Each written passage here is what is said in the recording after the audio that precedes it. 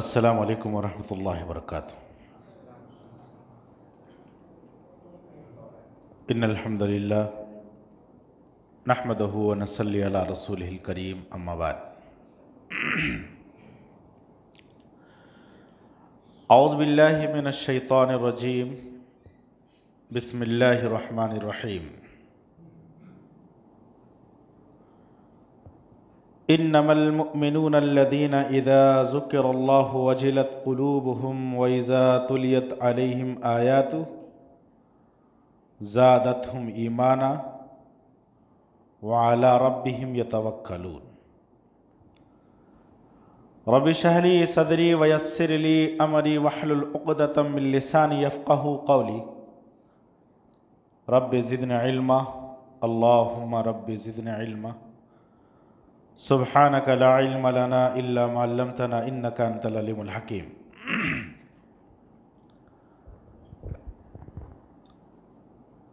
हाजरीन मजलिस मुआज़ कराम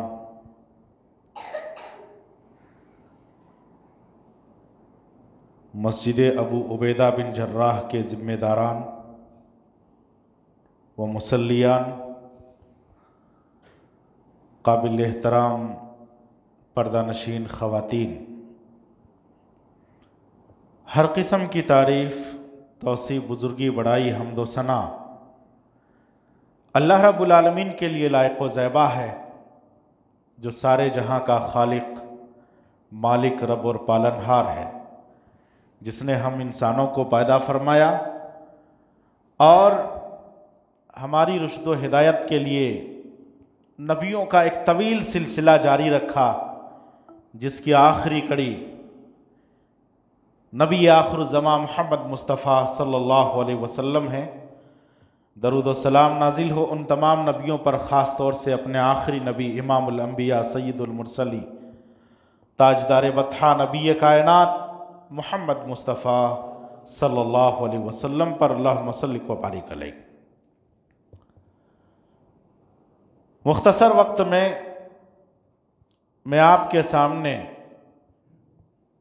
सूर्य अनफाल की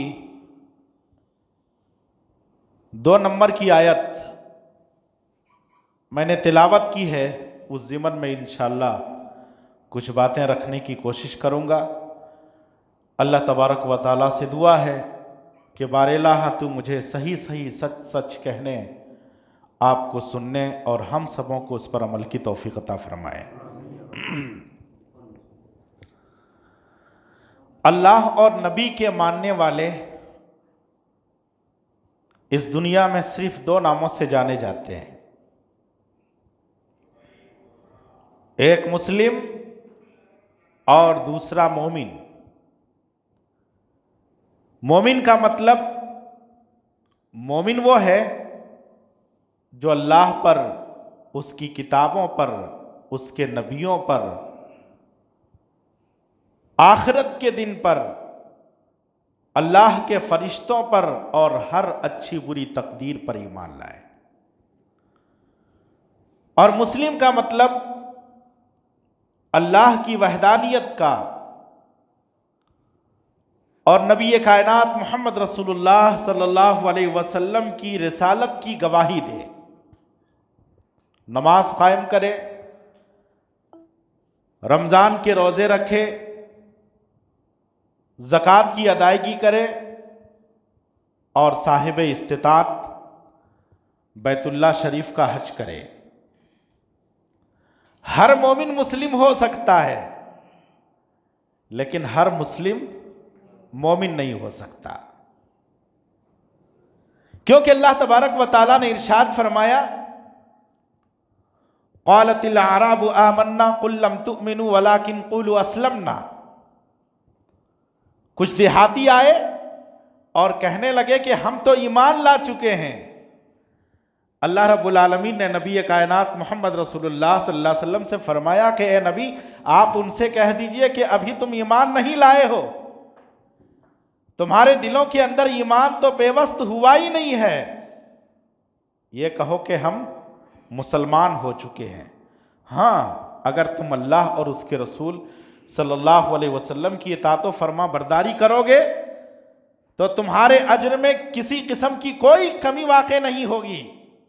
कुछ कम न किया जाएगा। और अल्लाह रब्बुल आलमीन बिलाशुबा बख्शने वाला और बड़ा ही मेहरबान है। मेरे इस्लामी भाइयों, मैंने सूर्य अनफाल की दो नंबर की आयत तिलावत की है। इस जमन में मैं आपसे एक सवाल करता हूँ कि मोमिन कौन है? मोमिन के औसाफ क्या है? मोमिन के सिफात क्या है? तो इसका क्या जवाब बनेगा? आइए अल्लाह ताला से पूछ लेते हैं। अल्लाह रब्बुल आलमीन ने कुरान करीम सुर अनफाल आयत नंबर दो के अंदर इर्शाद फरमाया। इन्नमलमुमिनूनल्लज़ीन इज़ा ज़ुकिरल्लाहु वजिलत क़ुलूबुहुम व इज़ा तुलियत अलैहिम आयातुहु ज़ादतहुम ईमाना व अला रब्बिहिम यतवक्कलून सवाल किया जाता है कि मोमिन कौन है अल्लाह तबारक व ताला की तरफ़ से जवाब मिलता है अल्लाह रब्बुल आलमीन ने इरशाद फरमाया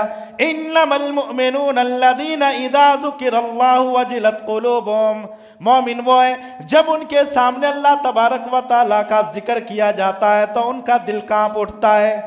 वो लरस जाते हैं। वो लरस जाते हैं, कांपने लगते हैं। अल्लाह के डर और खौफ से उनके अंदर एक किस्म की कपकपी तारी हो जाती है। यह मोमिन है। जब उनके सामने अल्लाह का ज़िक्र किया जाता है। ईमाना। और दूसरी सिफत का बयान करते हुए अल्लाह तबारक व ताला ने इरशाद फरमाया, जब उनके सामने कुरान करीम को पढ़ा जाता है। अल्लाह की आयतों की तिलावत की जाती है। कुरान करीम की आयतों की तिलावत की जाती है। ज़्यादत हम ईमाना तो उनके ईमान में इजाफा होता है। उनके ईमान में बढ़ोतरी होती है। वाला रबिम ये तवक्लून और मोमिन ये है कि वो अपने रब के ऊपर, अपने परवरदिगार के ऊपर भरोसा करते हैं।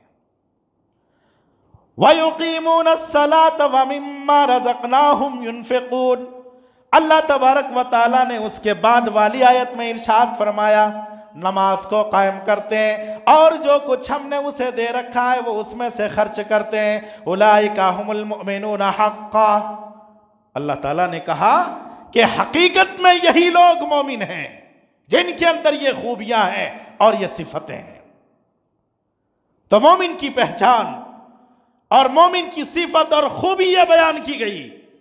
जब उनके सामने अल्लाह का ज़िक्र किया जाता है तो उनका दिल दहल जाता है।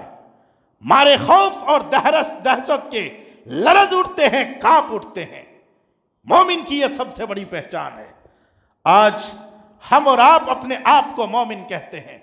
मेरे इस्लामी भाइयों, मेरी माँ और बहनें, अपने सीने पर हाथ रख करके देखो कि वाकई क्या आज हमारे अंदर यह कैफियत है? आज हम दिन और रात कुरान और हदीस की बातें सुनते हैं। लेकिन क्या फ़र्क पड़ता है? कोई फ़र्क नहीं पड़ता। हम एक कान से सुनते हैं और दूसरे कान से निकाल देते हैं। कोई फ़र्क नहीं पड़ता। ना हमें किसी किस्म का डर और खौफ है। ना हमारे अंदर वो कैफियत तारी होती है, जिस कैफियत का इस आयत के अंदर ज़िक्र किया गया। हम कैसे मोमिन हैं? लेकिन अल्लाह अकबर, साहबा कराम रिजवान अजमैन की हालात को पढ़िए। उस दौर के मुसलमानों तो छोड़िए। उस दौर के गैर मुस्लिमों की हालत को पढ़िए। आपको पता चलेगा, जब उनके सामने अल्लाह का ज़िक्र किया जाता तो उनका दिल काँप उठता था। अक्सर बेशतर के ईमान लाने के जो वाकयात हैं, आप पढ़िए, आपको अंदाज़ा हो जाएगा, आपको मालूम होगा कि जब उनके सामने अल्लाह का ज़िक्र किया जाता तो फिर वो कैसे डरते थे और खौफ खाते थे। अल्लाह के प्यारे हबीब, मोहम्मद रसूलुल्लाह सल्लल्लाहु अलैहि वसल्लम एक मजलिस के अंदर बैठे हुए थे। आप सल्लल्लाहु अलैहि वसल्लम ने बनी इसराइल के एक आदमी का किस्सा लोगों को सुनाया। हज़रत अब्दुल्ला बिन उमर रज़ी अल्लाह तहो हदीस के रावी हैं। वो बयान फरमाते हैं, अल्लाह के रसूल सल्लल्लाहु अलैहि वसल्लम ने हमारे सामने एक किफल नामी गुनाहगार, सियाहकार और बदकार आदमी का ज़िक्र फरमाया। कहा कि बनी इसराइल में एक आदमी था जिनका नाम किफल था। लेकिन एक औरत को, एक नौजवान लड़की को साठ दीनार दे करके उससे गलत काम करना चाहता था। उससे जिनाकारी करना चाहता था। अपनी हवस को बुझाना चाहता था।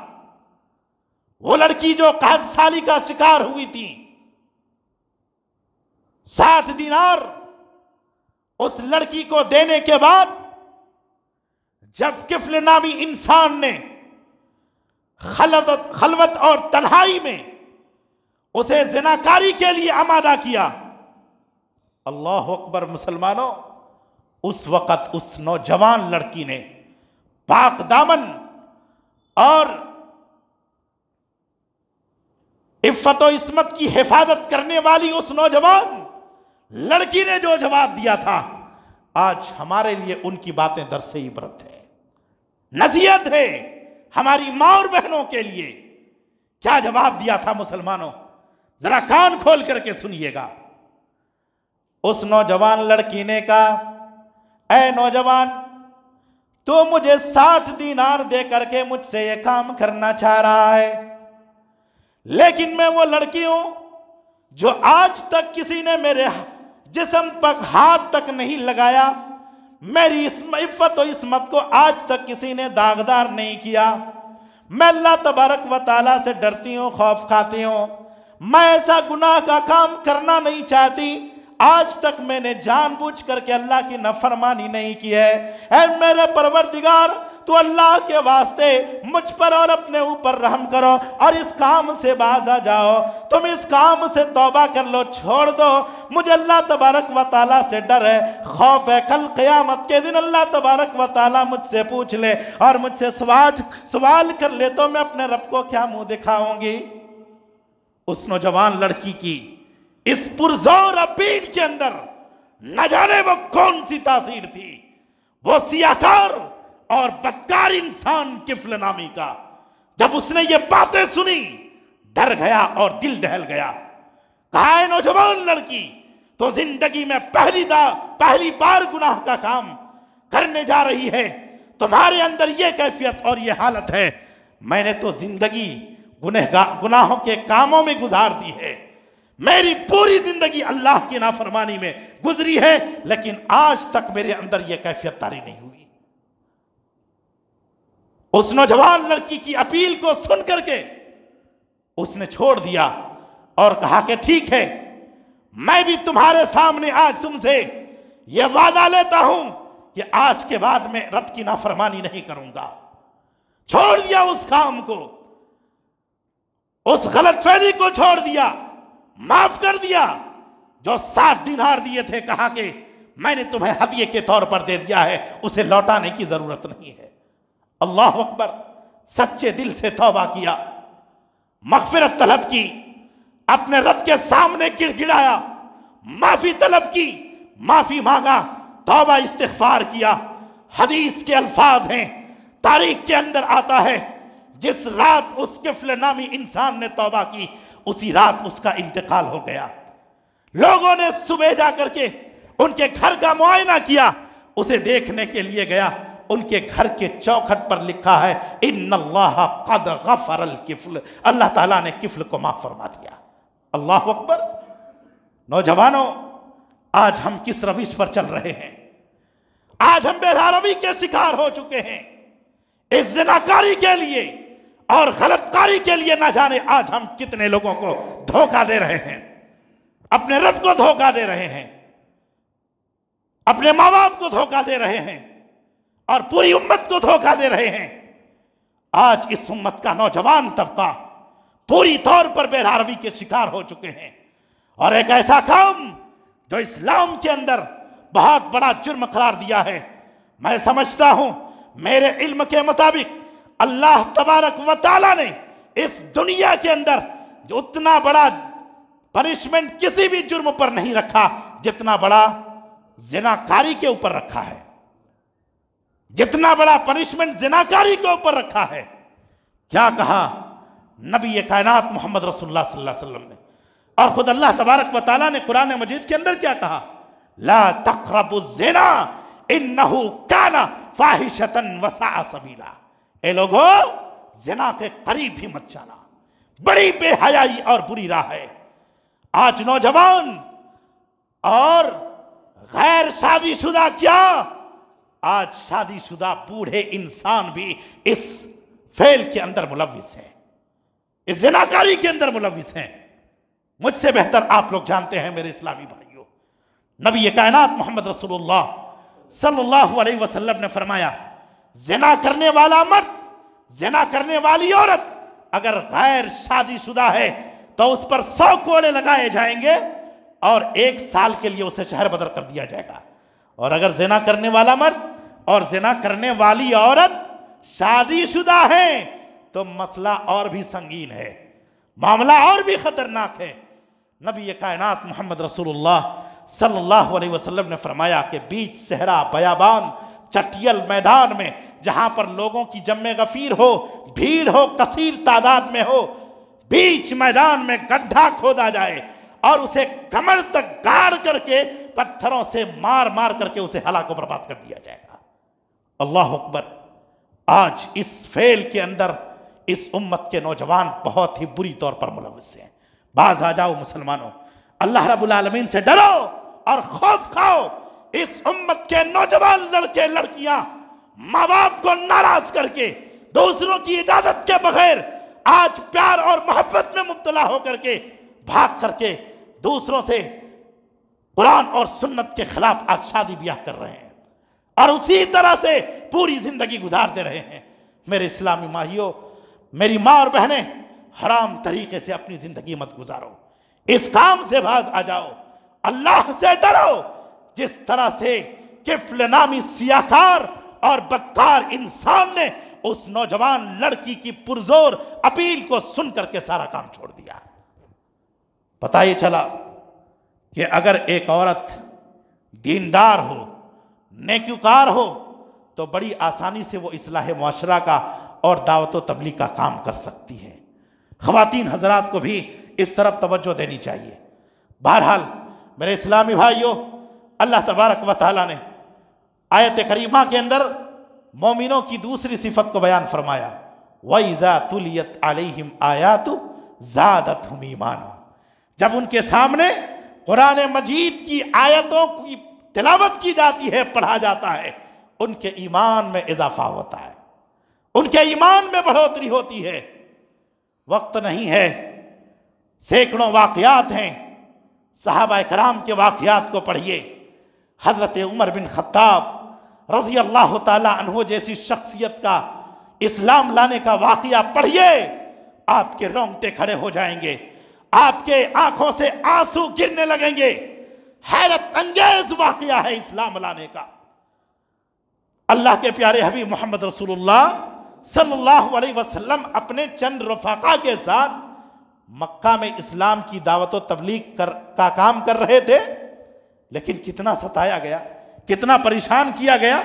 हज़रत अबू बकर सिद्दीक रज़ी अल्लाह तु एक रात छुपे, छुपाए अपने आप को नबी करीम सल्लल्लाहु अलैहि वसल्लम के घर गए और कहा, अल्लाह के रसूल सल्लल्लाहु अलैहि वसल्लम मक्के वालों ने तो हमें ज़िंदगी जीना दो भर कर दिया है। आप कुछ कीजिए। आप कुछ कीजिए।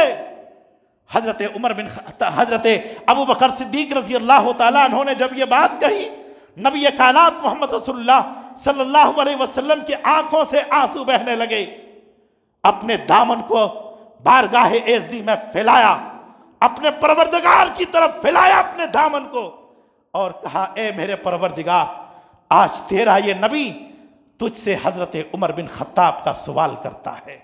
अल्लाह अकबर, हज़रत उमर बिन खत्ताब बड़े ही ताकतवर और बहादुर इंसान थे। बड़े ही ताकतवर।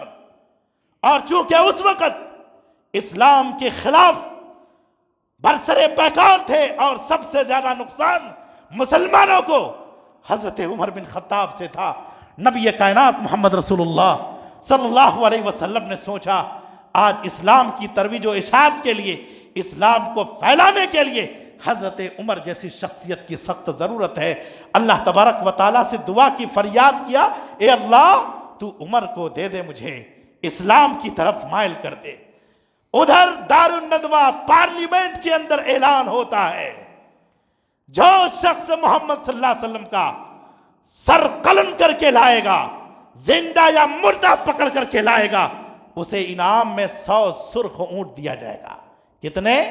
सौ लाल ऊँट दिया जाएँगे। और मैं कहूँ तो शायद ये बात बेजा ना हो कि उस दौर में एक लाल ऊँट की जो कीमत थी, आज के दौर में एक हेलीकॉप्टर की कीमत का मुकाबला नहीं कर सकता। अल्लाह अकबर। सौ लाल ऊँट, इनाम की लालच में। हज़रत उमर बिन खत्ताब जो इस्लाम नहीं लाए थे, वो वहाँ पर मौजूद नहीं थे। इधर नबी नबी करीम मोहम्मद रसूलुल्लाह सल्लल्लाहु अलैहि वसल्लम उमर का सवाल कर रहे हैं। अपने रब से उमर अबू जहल कासिदों को भेज रहा है। उमर को बुलाने के लिए जाओ। ये काम उमर ही कर सकता है, दूसरा कोई नहीं कर सकता। मेरे इस्लामी भाइयों, हज़रत उमर बिन खत्ताब को बुलाया गया। बहरहाल वो पहुँचे, बताया गया, उमर, माजरा ये है, मसला ये है मोहम्मद सल्लल्लाहु अलैहि वसल्लम को ज़िंदा या मुर्दा पकड़ कर लाओगे, सौ सुर्ख ऊँट इनाम में दिया जाएगा और मुझे उम्मीद है कि यह काम तेरे सिवा कोई और नहीं कर सकता। हज़रत उमर बिन खत्ताब रज़ी अल्लाह तु तैयार हो गए, राज़ी हो गए, तलवार नियाम से निकाली, नंगी तलवार लेकर के चल पड़े मोहम्मद सल्लल्लाहु अलैहि वसल्लम की तलाश में। रास्ते में एक सहाबी नईम बिन अब्दुल्ला से मुलाकात होती है। हज़रत उमर के तेवर को देख करके समझ जाते हैं, बात कुछ ज़रूर है। कहा, उमर, कहाँ जा रहे हो? कहा, मत पूछ मुझे, मैं कहाँ जा रहा कहा, बताओ ना, कहाँ जा रहे हो? कहा कि मैं मोहम्मद सल्लल्लाहु का सर कलम करने जा रहा हूँ। कहा, क्या बात है? अरे, उसने क्या जुर्म किया है? कौन सा जुर्म किया है कि तुम सर कलम करने जा रहे हो?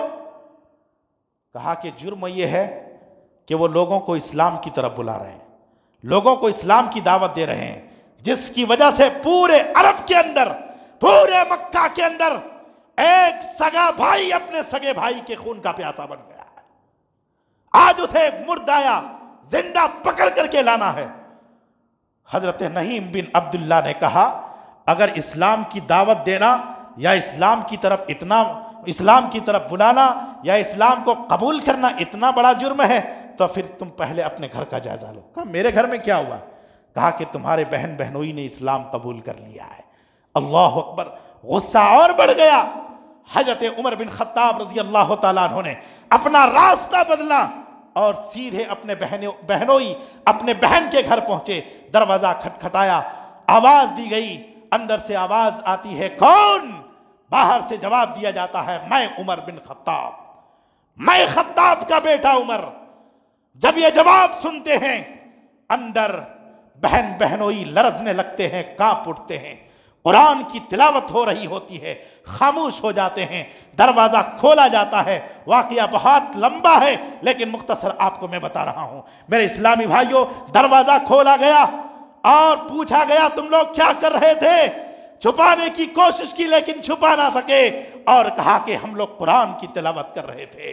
मारा गया, बहनोई को इतना मारा, लहूलहान कर दिया गया। बहन सामने आई और कहा कि, भाई, बहनोई को मारने से पहले तुम अपने बहन को शहीद करो। अपने बहन को शहीद करो। आँखों में आँखें डाल करके बातें करने लगी। हज़रत उमर बिन खत्ताब ने देखा, मेरी वही बहन है जो कभी एक वक्त मेरे सामने खड़े होकर के, मेरे सामने सर उठा करके बात करने की हिम्मत और जुरत ना कर सकती थी। लेकिन आज इसके अंदर वो कौन सी ताकत है जो मेरी आँखों में आँखें डाल करके बात कर रही है? कौन सी ताकत है? बहरहाल पूछा गया और कहा गया कि हम लोग कुरान की तिलावत कर रहे थे। हज़रत उमर बिन ख़त्ताब रज़ी अल्लाह तहों का दिल नर्म पड़ गया और कहा कि जिस किताब की तुम लोग तिलावत कर रहे थे, ज़रा मुझे पढ़ करके सुनाओ। मेरे इस्लामी भाइयों सूर तहा की चंद आयतों की तिलावत की गई और कहा, जब उन कुरान की तिलावतों को जब उन्होंने सुना, कहा कि बस करो मेरा कलेजा फटा जा रहा है। और उस आदमी का पता बताओ जिन पर यह कुरान उतरा है और नाजिल हुआ है। मुझे वहाँ पर ले चलो। गए थे, निकले थे मोहम्मद रसूलुल्लाह सल्लल्लाहु अलैहि वसल्लम का सर कलम करने, नबी कायनात का इलाज करने, पहुँच करके जाकर के अपना इलाज करा के आ गया। नबी करीम सल्लल्लाहु अलैहि वसल्लम की खिदमत में हाजिर होकर हाथों पर हाथ रख करके बयात करके अशहदु अल्लाह व अशहदु अन्ना मुहम्मदन अब्दुहु व रसूल का इकरार कर बैठे। तो कुरान के अंदर वो तासीर है। मेरे इस्लामी भाइयों, शर्त यह है कि हम ईमान और जज्बे के साथ कुरान को पढ़ें और उस पर पूरी तौर पर ध्यान के साथ हम कुरान की तिलावतों को सुने तो इन आपके ईमान में इजाफा होगा। आपके ईमान में ताजगी आएगी। वाला रबिम यतवक्कलून। मोमिन, वो है जो अपने रब के ऊपर भरोसा करते हैं, तवक्कल करते हैं ऐरों खैरों, नत्थु खैरों के पास नहीं जाते हैं। हालात कुछ भी पैदा हो जाए, उन्हें अपने रब के ऊपर यकीन और भरोसा है। अपने प्रवर्तिगार के ऊपर भरोसा करते वावेला नहीं मचाते, रोते गिड़गिड़ाते नहीं, अपने गरीबान को झाक नहीं करते, दूसरों से शिकवा शिकायतें नहीं करते। अपने रब से शिकवा करते हैं, अपने रब से गिला करते हैं, अपने रब रब से मांगते हैं, अपने रब के ऊपर भरोसा करते हैं। एक वाकया ईमान अमल की एक किताब है। उस किताब के अंदर एक वाकया नकल किया गया है। वाकया ये है कि हज़रत अली रज़ी अल्लाह तहों के पास एक साइल आया। मांगने वाला आया, हज़रत अली रज़ी अल्लाह तहों के पास कुछ ना था। अपने बेटे हज़रत हसन को अपनी हज़रत फ़ातिमत जहरा रज़ी अल्लाह तहा के पास भेजा और कहा कि जाओ, घर में कुछ है, लेकर के आओ। हसन गए अपनी माँ के पास मांगने के लिए। कहा कि मेरे पास छः दिरहम के सिवा कुछ भी नहीं है। अगर मैं इससे कुछ एक या दो दिरहम दे दिया तो आज मैं, आज घर में जितना सौदा राशन की ज़रूरत है, कम पड़ जाएगा, पूरा राशन नहीं आएगा।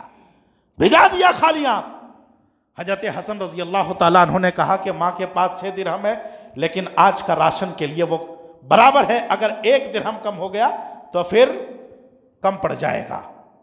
हज़रत अली रज़ी अल्लाह तुन्होंने कहा कि जाओ, अपनी माँ से कहो कि तुम अपने बटवे पर भरोसा करती है, वह पूरे छह दिन हम निकाल करके लेके आओ। हज़रत हसन गए और पूरे छह दिन हम निकाल करके लेके आए और पूरा छह का छह दिरहम उस साइल को उस मांगने वाले को दे दिया।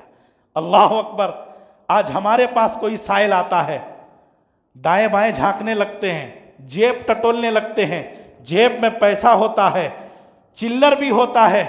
यह कह करके भेज दिया जाता है कि चिल्लर नहीं है मेरे पास। अल्लाह अकबर। मेरे इस्लामी भाइयों, आज ये हालत और ये नौबत है मुसलमानों की। आज उसे खाली हाथ लौटा देते हैं। सहाबा का ईमान देखो, उनका तवक्कुल और भरोसा देखो अपने रब के ऊपर। हज़रत अली रज़ी अल्लाह तला उन्होंने ये नहीं सोचा अगर मैं छह दिन हम दे दिया, आज की रात मेरे बच्चे कैसे गुजर बसर करेंगे? आज की रात खाएँगे क्या? उनकी रात कैसे गुजरेगी? नहीं सोचा यह ख्याल नहीं आया। बल्कि उनके दिल में इतना यकीन था कि मेरा रब कहीं से इंतज़ाम करेगा। वो साइल चला गया, छह दिन हम लेकर के। एक आदमी एक ऊँट लेकर के आया। हज़रत अली रज़ी अल्लाह तहों से कहा कि आप ऊँट खरीदना चाहते हैं मुझसे? कहा कि हाँ मैं खरीदना चाहता हूँ। बात तय हो गई और 140 दिरहम में ऊँट खरीद लिया गया। 140 दिरहम में ऊँट खरीद लिया गया। इस शर्त पर कि पेमेंट अभी नहीं मिलेगा। मैं इस ऊँट को फिर बेचूँगा। बेचने के बाद जब अमाउंट और रकम मेरे पास आएगा तो 140 दिरहम आपके पास भेजा दिया गया। शर्त मंजूर हुई। हज़रत अली रज़ी अल्लाह तहों ने 140 दिरहम में उस ऊँट को खरीद लिया। ऊँट को बेचने वाला इंसान वहाँ से जाता है। उसके जाने के बाद साथ ही एक दूसरा आदमी आता है और हज़रत अली रज़ी अल्लाह तहों से सवाल करते हैं कि क्या आप ये मुझसे ये ऊँट बेचेंगे? कहा? बेचूँगा। बात हुई 200 दिरहम में। बात तय हुई 200 दिरहम में। हज़रत अली रज़ी अल्लाह तहों ने नकद दो सौ दिरहम में उस ऊँट को एक आदमी से बेच दिया। अल्लाह अकबर, हज़रत अली रज़ी अल्लाह तु का ईमान देखिए। आज हम लोगों से कर्जा लेते हैं। लेते हैं कि नहीं लेते हैं? एक बात कहूँ, आज एक मुसलमान दूसरे मुसलमान को कर्जा देने के लिए जल्दी से राज़ी नहीं होता है। कोई किसी को कर्जा नहीं देता है, क्यों? जानते हैं? आज हम कर्जा लेते हैं बड़ी आसानी से, लेकिन उसको वापस नहीं लौटाते हैं। परेशान करते हैं, तंग करते हैं। जिनके पास नहीं है, वह एक अलग मजबूरी है। लेकिन हमारे जेब में पैसे होते हैं। हम अपने कर्जदार जो, जिनसे हमने कर्जा लिया है, हम उन तक पैसे को लौटाते नहीं हैं। इसलिए आज कोई कर्जा देने के लिए तैयार नहीं है। हज़रत अली रज़ी अल्लाह तहो का ईमान देखिए 200 दिनहार 200 दिरहम हाथ में आया 140 दिरहम उस आदमी के पास भिजवा दिया साथी। हम होते, बाद में भेजाएँगे ना, क्या ज़रूरत है अभी? बाद में देखेंगे। लेकिन अल्लाह अकबर, हज़रत अली रज़ी अल्लाह तहों ने साथ ही 140 दिरहम भिजवा दिया और साठ दिरहम हज़रत फ़ातिमत ज़हरा रज़ी अल्लाह तहा के पास भिजवा दिया। हज़रत फ़ातिमत ज़हरा रज़ी अल्लाह तहा बहुत परेशान हुई कि हमने छः दिरहम दिया था और ये साठ दिरहम कहाँ से आ गया? हज़रत अली रज़ी अल्लाह तहों ने कहा कि मन जाबिल हसनत फ़लहू अशर अमसालिहा। अगर कोई आदमी एक नेकी करता है तो अल्लाह तबारक व उसे दस गुना बढ़ा करके देता है। अगर आप एक रुपया खर्च करोगे, अल्लाह दस देगा। अगर आप दस खर्च करोगे, अल्लाह सौ देगा। अगर आप सौ खर्च करेंगे, अल्लाह सात सौ, बल्कि उससे भी बड़ा चढ़ा करके देगा। और इसी का बदला है, तूने दिन हम दिया था, अल्लाह तबारक व ताली दस गुना तुम्हें दे दिया। अल्लाह अकबर यह मुसलमानों का ईमान था। अपने रब के ऊपर कामिल तवक्ल और भरोसा था, लेकिन आज हमारे अंदर हमारा ईमान और हमारा दिल, ये सब चीज़ों से यकसर खाली है, और हम डिंग हाँकते हैं, दावा ठोकते हैं कि हम मोमिन हैं। भला बताइए क्या आज ये खूबियाँ हमारे दिलों के अंदर हैं? वयुकीमून सलाह। नमाज़ कायम करते हैं। जो कुछ अल्लाह ने उन्हें दिया है, सर्फ करते हैं, खर्च करते हैं। मेरे इस्लामी भाइयों, आज हम ओहदा के लिए लड़ते हैं। आज हम दिगर चीज़ों के लिए लड़ते हैं। तानाशाही है एक दूसरे के दरमियान। एक दूसरे के खिलाफ साजिशें करते हैं। लेकिन मोमिनों की जो असल पहचान बताई गई है नमाज़ की हिफाजत करते हैं, नमाज़ को पढ़ते हैं। आज हमारे अंदर नमाज़ की पाबंदी नहीं है। नमाज़ की पाबंदी नहीं है। मस्जिदें वीरान हैं, मस्जिदें शिकवा कर रही हैं, मस्जिदें बदवा कर रही हैं। एक बात मैं बताऊँ, आज मुसलमानों की जिल्लत और रसवाई की, जहाँ पर बहुत सारे असबाब हैं, उनमें से एक सबब यह भी है कि आज हमने नमाज़ पढ़ना छोड़ दिया है। अगर पढ़ते हैं तो लापरवाही करते हुए वक्त को निकल जाने के बाद हम नमाज़ पढ़ते हैं और जैसे चाहे पढ़ लेते। हैं मेरे इस्लामी भाइयों, नमाज़ की हिफाजत कीजिए। अल्लाह तबारक व ताली ने जो कुछ दिया है, उस पर अल्लाह के रास्ते में सर्फ कीजिए, खर्च कीजिए, तब जा कर के आप हकीकी मानों में, सही मानों में सच्चे मोमिन और पक्के मोमिन होंगे और दुनिया में भी आपको कामयाबी मिलेगी और आखरत में भी आपकी कामयाबी कदम चूमेगी, क्योंकि अल्लाह तबारक व ताली ने कुरान करीम के अंदर 114 सूरतों में से एक सूरत का सूरतुलमोमिन नाम रखा है। उस सूरत के अंदर इब्तदाई दस आयतों में अल्लाह ताला ने उनकी खूबियों को बयान फरमाया और उनकी खूबियों को बयान करने से पहले कहा, कद अफलहमिन मोमिन कामयाब हो गए, मोमिन कामयाब हो गए, क्योंकि मोमिनों के अमाल और मोमिनों की सिफात इतने अच्छे होते हैं कि अल्लाह तबारक व ताली ने उनकी कामयाबी की खुशखबरी इस दुनिया के अंदर सुना दी है। अल्लाह तबारक व ताली हम तमाम मुसलमानों को, मोमिनों के जो सिफात बयान किए गए हैं, उसे अपने अंदर पैदा करने की तोफ़ी अता फरमा। बुरे अखलाक, बुरे किरदार और बुरे अमाल से हर मुसलमान को बचने की तोफ़ी अता फरमा। बार दुनिया और आखरत दोनों जहाँ में कामयाबी नसीब अता फरमा। हर गुनाह को माफ़ फरमा दे। जब तक तो हमें इस दुनिया के अंदर ज़िंदा रखे दिन इस्लाम पर, जब हमारा ख़ात्मा हो दिन ईमान पर। आमीन। वाखर दावाना